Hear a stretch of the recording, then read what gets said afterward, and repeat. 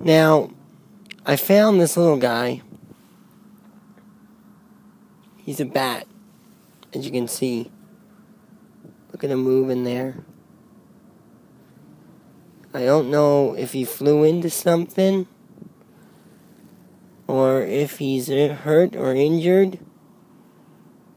I don't think he likes the light too much.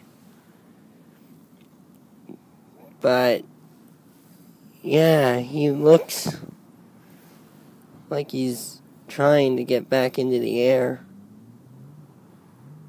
Should probably take the light off of him. He's pretty cute though.